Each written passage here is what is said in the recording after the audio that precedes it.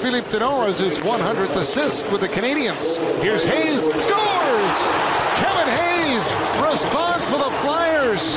Petry gets the puck up the wall, but there's no one there to pick it up. And Hayes just walks out into his forehand.